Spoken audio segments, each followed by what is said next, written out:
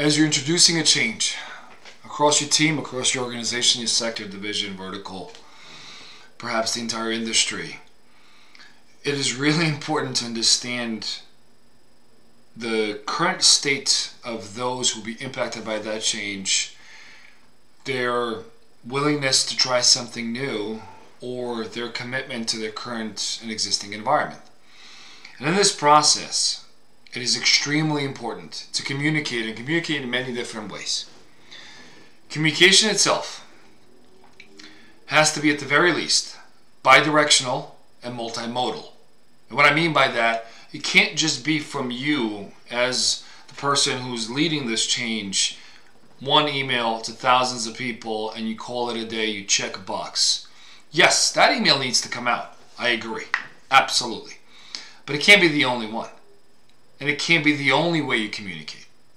You have to figure out a way of and provide opportunities in many different ways because folks respond to it differently.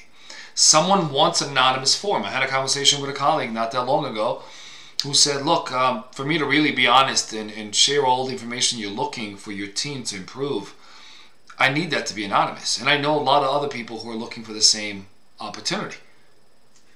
To me, I generally say what I think at all times and I stand behind it. I'm going to sign my, name below anything I've said and I'll own it. That doesn't mean that those who want to be anonymous are wrong. That's just their preference. That's their level of comfort.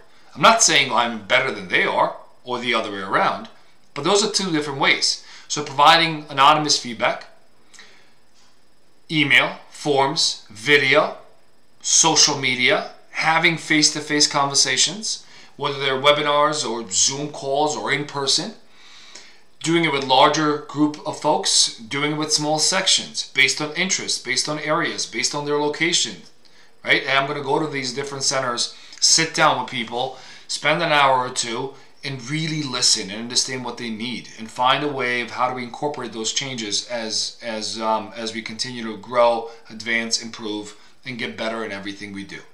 So communication has to be bidirectional, cannot be only top down.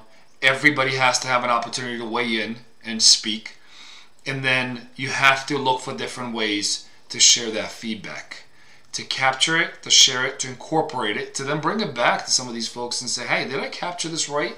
Was I wrong? Did I miss anything? And if so, please fill in the gaps, fill in the blanks. Just wanted to take a moment to share this because it keeps coming up across a number of different initiatives that I'm involved with, um, both professionally and, and, and personally, and I see it all the time. And this has been a thing for forever, since the beginning of time. Get people involved, include them, listen to what they have to say. Now, don't be afraid to make a decision. Don't be paralyzed by trying to please everyone at all times because that way you're not going to get anywhere. That way you're guaranteed to stay where you are and never move, which in some cases is not a bad thing depending on what it is. If you have something that works extremely well, does not need to be changed or disrupted in any way, leave it alone. Double down on it. But in many areas, you know, the only cons- consistent thing is change. And everything around us is changing.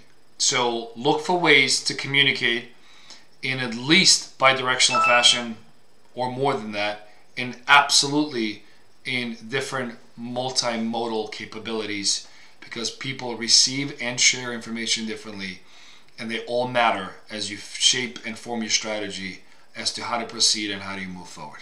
So have a wonderful day. I wish you all the best.